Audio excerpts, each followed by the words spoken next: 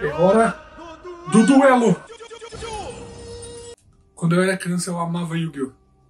E a minha mãe tinha um acordo comigo que toda vez que eu tirava notas boas, ela me dava cartas. Então eu nunca ganhava cartas. E qual era a solução? Desenhar as minhas próprias cartas. Que você pode imaginar que sendo um gordinho de 8 anos ficava uma bosta. Então meu desafio agora é ver se com quase 30 eu consigo fazer cartas melhores. E aí eu tentei fazer as cartas só usando coisas que eu teria naquela época do tipo canetinha. Não tem nada de Photoshop, nada de computador, eu só escaneei e imprimi do tamanho de uma carta. Então, vamos ver se eu consegui fazer algo melhor do que quando eu tinha 8 anos de idade. Eu invoco o Mago Negro.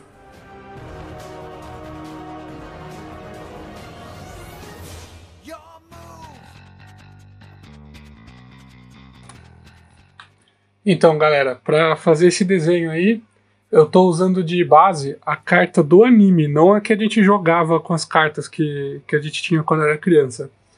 Ah, o design das cartas é bem diferente. O do anime, que especialmente daquela época dos anos 90 era quase tudo desenhado à mão, ele tem um design de carta muito mais simples. Ele não tem nada com, com texto embaixo, ele nem tem o nome do monstro. Ele é bem simples, ela é mais quadradona e ela tem só o ataque, a defesa e as estrelinhas, ela não tem nada.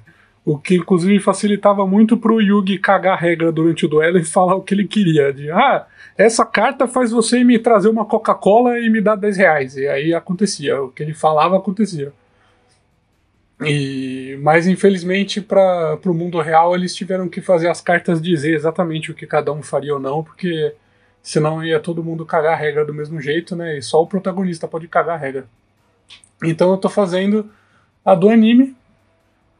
E eu tô seguindo o desenho e a pose da carta, mas eu tô meio que fazendo no meu estilo, assim. Então tem algumas coisas do tipo estilo de luz e sombra e anatomia, assim, que eu puxei um pouquinho mais pro meu estilo, que essas cartas dessa época foi bem no começo da arte digital, então, ela, ela é, a arte original ela é bem arredondadinha, assim, ele, ele é um pouquinho mais fofinho e eu gosto de fazer ele um pouquinho mais pontudo, um pouquinho mais violento, que eu acho que até que combina mais com, com todo o estilo do Yu-Gi-Oh! que veio depois.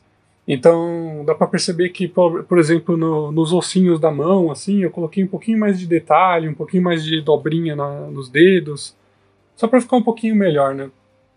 E eu tô fazendo no tamanho da folha normal, e depois eu vou só diminuir para o tamanho de carta, né?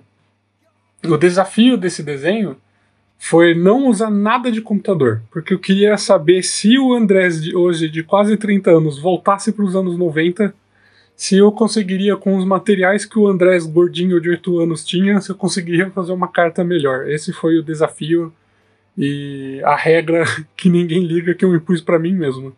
Seria muito, muito mais fácil se eu só tivesse feito o, contorninho que eu estou fazendo nessa etapa agora e tivesse deixado só o contorno e aí fizesse as cores no Photoshop e acabou. Seria bem simples, daria para deixar ele mais clean e tal, mas que graça que tem isso, né? A gente tem que tentar se desafiar um pouco. E, então eu tentei com as canetinhas vagabundas que eu tenho aqui, que são ruins, vocês vão ver mais pra frente, elas quase cagaram o desenho inteiro. E como elas são umas canetas que não são daquelas profissionais que misturam bem os tons e tal, eu não consigo fazer tipo degradê, essas coisas. Então eu tenho que eu vou ter que fazer os tons em, em tons de cinza no desenho em branco e preto e depois só passar como se fosse uma, uma camada de cor em cima de tudo e torcer para só o, o cinza e o branco que tem embaixo criar tons diferentes das cores que eu passar em cima, porque é a única coisa que dá para fazer com essa caneta porque ela é tão, ela é tão pesada, tão saturada que ela não dá o mínimo de o mínimo de reboleio assim para você conseguir corrigir uma coisinha ou não. É, passou, passou, já era, não tem como corrigir. Então eu vou tentar caprichar nos tons de cinza e aí passar ela em cima e seja o que Deus quiser. Vocês vão ver mais pra frente que isso quase cagou o desenho muito e aí eu tentei dar uma consertada depois. Eu poderia ter colocado no Photoshop e salvado tudo, mas aí eu ia dar uma trapaceada, né? Se bem que aí era só eu não falar para vocês que eu tava tentando não usar o Photoshop e ninguém ia nem saber, né? É. é eu devia ter pensado nisso antes. Mas enfim, agora Tá aí, eu tô passando os tons de cinza e essa é uma gambiarra que eu fiz, que eu tava cansado de, de tentar achar uma caneta com tom de cinza e tal, então esse cinza aí que eu uso nos desenhos é um que eu meio que faço. Eu pego essa caneta gordinha, ela é tipo uma caneta que ela guarda água dentro, que ela foi feita para quem pinta aquarela. Eu uso ela geralmente com nanquim dentro, para não ter que ficar comprando várias canetas do nanquim, que são caras eu uso esse pincel para fazer os nanquins da área, que são grandes, que vai ser pincelada grossa e tal, e não precisa de muita precisão.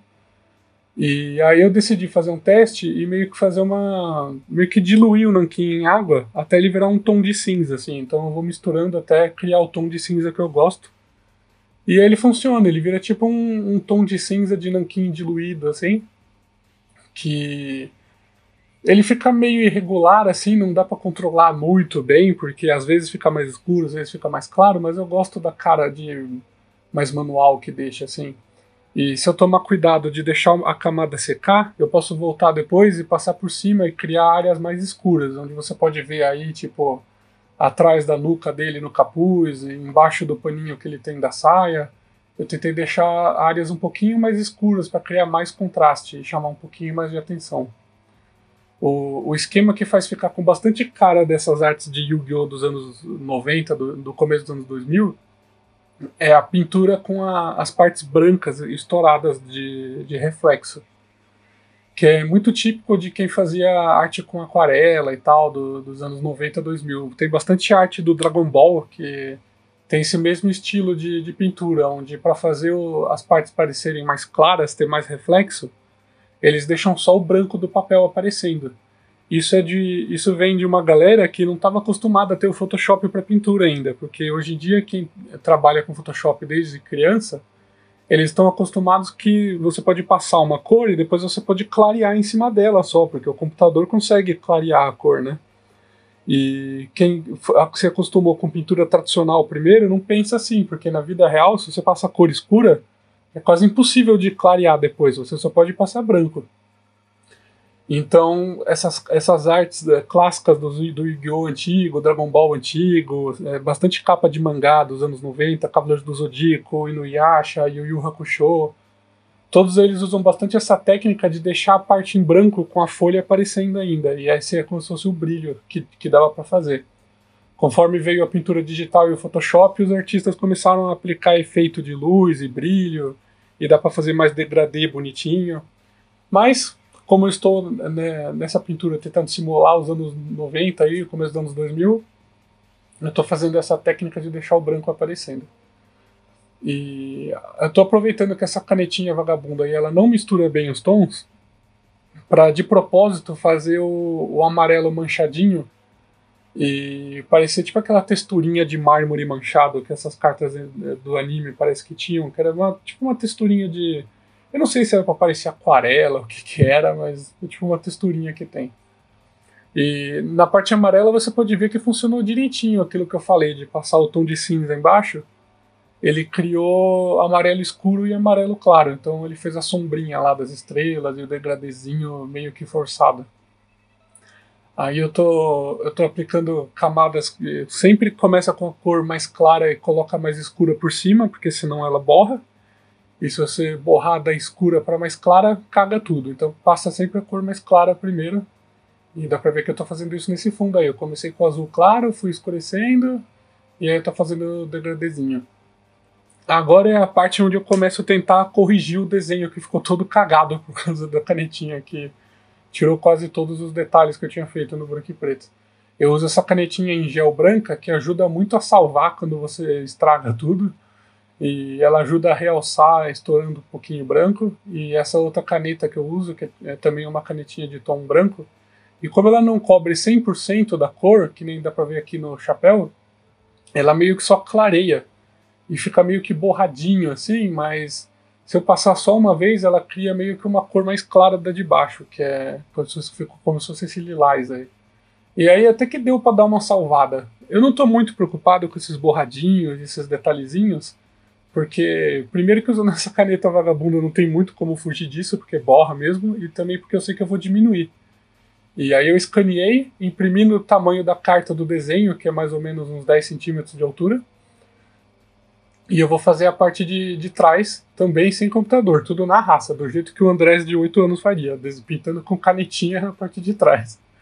E eu vou pintar a bordinha da carta também, para não ficar o papel branco aparecendo do, é, do lado, né, que ia ficar feio. E eu tô aqui só com a canetinha pintando, não usei nada de Photoshop, não imprimi a parte de trás. E agora eu vou passar o Isso Filme transparente, por dois motivos, né? Primeiro que tá tudo com canetinha e impresso, então qualquer coisa que caísse ia borrar, e também para dar o brilhinho do igual a, da carta do anime, que quando eles mexem ela tem esse reflexo. E ficou assim, ela diminuída ficou bem igualzinha do desenho, parece muito do anime, que é, um, que é um design mais clássico, mais meio que feinho, mas ao mesmo tempo estiloso, assim. E eu achei que ficou legal, ficou bacana. Se vocês gostaram, me, me fala aí as cartas que vocês gostavam que eu tento fazer. Talvez o dragão branco de olhos azuis, o dragão negro de olhos vermelhos. Comenta aí se vocês gostaram desse estilo de usando a arte para coisas um pouquinho mais mais complexazinhas assim. E me diz aí o que vocês acham que eu podia tentar fazer também. E deixa aí o like, se inscreve por favor para me ajudar. E é isso aí, valeu por, por ter assistido tudo. E é hora do duelo.